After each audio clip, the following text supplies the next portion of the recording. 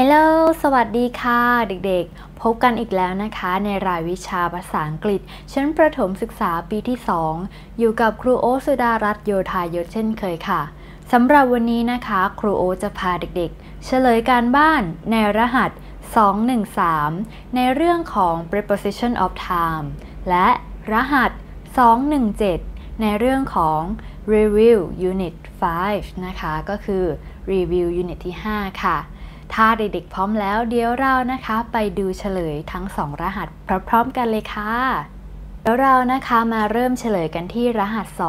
213 ในเรื่องของ preposition of time เริ่มในข้อแรกกันเลยค่ะคำสั่งนะคะบอกว่า fill in the preposition of time in on at in the blanks จงเติมคำบุพบทบอกเวลา in on at ให้ถูกต้องนะคะ ข้อที่ 1 ค่ะ the, the, the second much เราจะใช้ in on หรือ at ดีคะในข้อที่1นะคะเป็นการบอกวันที่ ดังนั้นเราจะใช้เป็น on second much ค่ะ ข้อที่2 the, the, the afternoon the the the the afternoon เราจะใช้ preposition of time ตัวไหนดีคะ in on at ข้อที่ 2 เป็นการบอกช่วงเวลาของวัน ดังนั้นเราจะใช้เป็น in the afternoon in the afternoon ข้อที่ 3 ค่ะ the the the winter the the the winter เป็นการบอกฤดูกาลค่ะ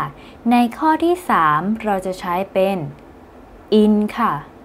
in winter in winter ข้อที่4 the the the 27 July 27 July เราจะใช้ in on at ตัวไหนดีคะ ข้อที่ 4 เป็นการบอกวันที่นะคะ ดังนั้นเราจะใช้เป็น on 27 July on 27 July นะคะ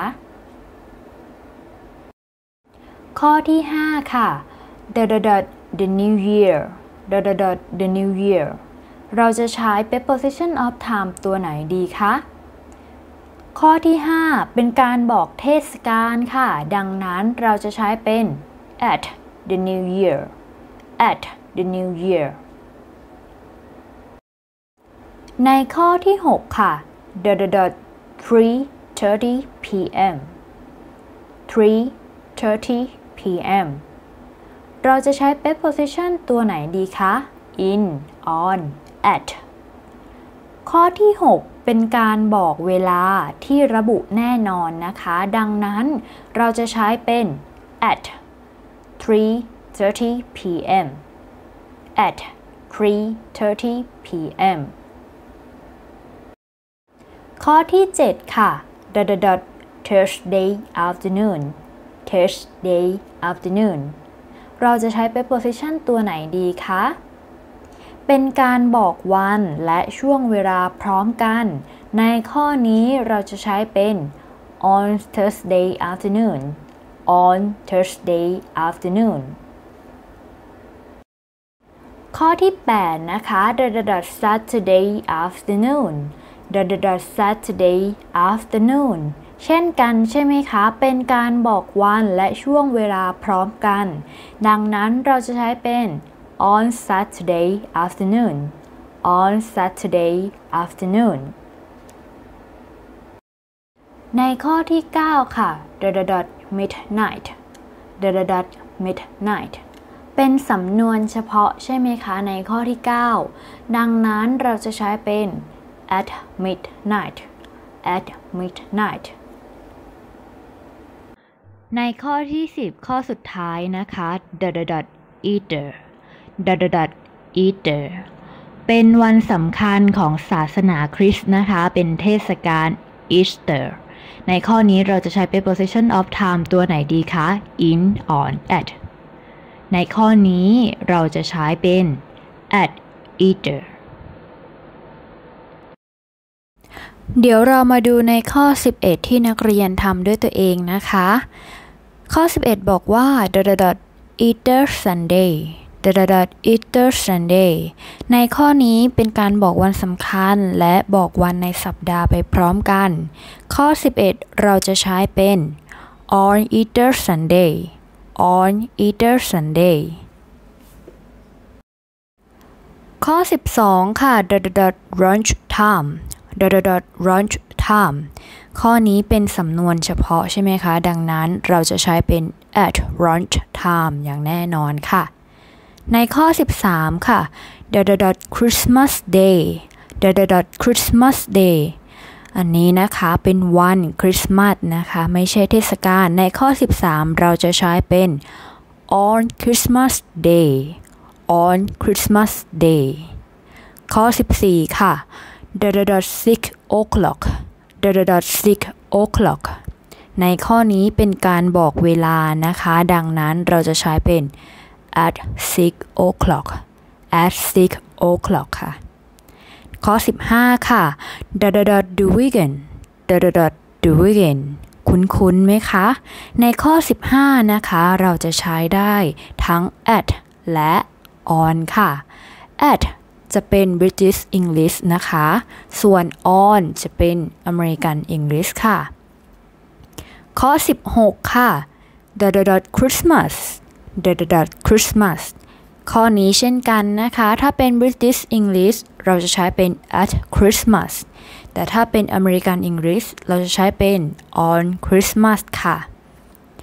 ข้อ 17 ค่ะเด็กๆ dot dot dot Wednesday dot dot dot Wednesday ในข้อนี้เป็นการบอกวันในสัปดาห์ค่ะ ดังนั้นเราจะใช้เป็น on Wednesday on Wednesday ข้อ 18 ค่ะ deny deny ข้อนี้เป็นสำนวนเฉพาะใช่ไหมคะ ดังนั้นเราจะใช้เป็น at the night at the night ข้อ 19 ค่ะ dot dot the daytime dot dot the daytime the daytime นะคะ ก็คือเวลากลางวันค่ะ ดังนั้นเป็นการบอกช่วงเวลาของวัน ข้อ 19 เราจะใช้เป็น in the daytime in the daytime และข้อสุดท้ายค่ะในข้อ 20 dot dot dot 25 December 2010 25 December 2010 ข้อนี้เป็นการบอกวันที่นะคะ ดังนั้นเราจะใช้เป็น on 25 December 2010 จบไปแล้วนะคะสำหรับการเฉลยการบ้านรหัส 213 ต่อมาเรามาดูรหัส 217 ในเรื่องของ Review Unit 5 ทบทวน Unit ที่ 5 ค่ะ เดี๋ยวเราไปเริ่มดูตั้งแต่ข้อที่ 1 กันเลยนะคะ Exercise Review Unit 5 ในหน้า 36 ถึงหน้า 38 ค่ะ Review 1 Answer the question จงดูรูปภาพ และตอบคำถามต่อไปนี้ Example ตัวอย่างนะคะ When does he eat breakfast When does he eat breakfast โดยคำถามนะคะจะให้เวลาเป็นตัวเลขมาค่ะคำตอบของเรานะคะจะต้องเขียนเป็นตัวอักษรค่ะ ในข้อตัวอย่างนะคะ ประธานเป็นเอกพจน์เป็น he คำตอบจะตอบได้ว่า he eat breakfast at 7:30 he eats breakfast at 7:30 he นะคะ ตามด้วยกริยาที่เติม s นะคะ he eats breakfast at 7:30 ข้อที่ 1 ค่ะคำถามคือ when does she get ready when does she get ready โดยเวลาคือ 6 นาฬิกา 30 นาทีค่ะ ประธานเป็นชีในข้อที่ 1คำตอบของเราจะตอบได้ว่า she gets dressed at 6:30 she gets dressed at 6:30 get นะคะจะต้องเติม s ด้วย เพราะว่าประธานเป็นเอกพจน์นะคะ ดังนั้นคำกริยาจะต้องเติม s ค่ะในข้อนี้ ข้อที่ 2คำถาม When does Sam go to school When does Sam go to school Sam ไปโรงเรียนตอนกี่โมงคะคำถามให้เวลามาเป็น 7 นาฬิกา 45 นาทีค่ะ ประธานเป็นแซม เป็นเอกพจน์ ดังนั้นในข้อที่ 2 นี้คำตอบจะตอบได้ว่า Sam goes to school at 7:45 Sam goes to school at 7:45 go นะคะ ลงท้ายด้วย o เราจะต้องเติม es ค่ะ ในคำกริยาในข้อที่ 2 นี้นะคะ เพราะว่าประธานเป็นชื่อคนเป็นแซมนั่นเองค่ะ ในข้อที่ 3 นี้นะคะ ให้เด็กๆ แก้ในหนังสือให้ครูโอสักนิดนึงค่ะ เพราะว่าคำถามนะคะเป็น What does Jenny eat dinner เวลานะคะจะต้องเป็น 6 p.m. ค่ะ ให้แก้จาก a.m. เป็น p.m. นะคะคำถามจะเป็น When does Jenny eat dinner เวลาจะเป็น 6 p.m. 6 p.m. นะคะ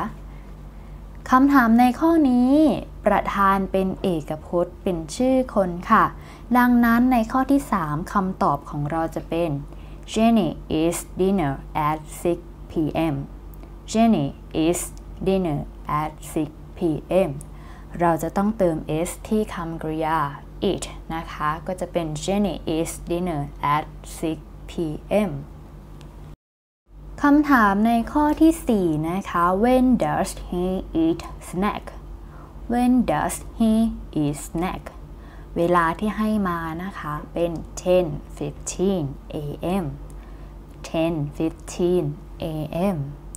snack ก็คือของว่างนะคะ อาหารทานเล่นเนาะประธานในข้อนี้เป็น he เป็นเอกพจน์ค่ะ ดังนั้นคำตอบของเราจะตอบได้ว่า he eats snack at 10:15 a.m. he eats snack at 10:15 a.m. เดี๋ยวเรามาดูกันในข้อที่ 5 ถึงข้อที่ 9 ที่เด็กๆทำด้วยตัวเองนะคะ ข้อ 5 ถามว่า When does Tommy eat lunch When does Tommy eat lunch ให้เวลามาเป็น 12 นาฬิกา 5 นาทีนะคะ PM ข้อนี้จะตอบด้ว่า Tommy eats lunch at 12:05 p.m. Tommy eats lunch at 12:05 p.m. ข้อนี้นะคะ ประธานเป็นชื่อคนค่ะ ดังนั้นคำกริยา eat จะต้องเติม s ด้วยนะคะ ข้อที่ 6 ค่ะคำถามคือ When does Anne brush her hair When does Anne brush her hair เวลาที่ให้มานะคะ เป็น 5 นาฬิกา 40 นาทีนะคะ AM ข้อนี้จะตอบได้ว่า Anne brushes her hair at 5:40 a.m. Anne brushes her hair at 5:40 a.m. ข้อนี้ประธานเป็นชื่อคนเช่นกันค่ะ ดังนั้นคำกริยาของเรา brush จะต้องเติม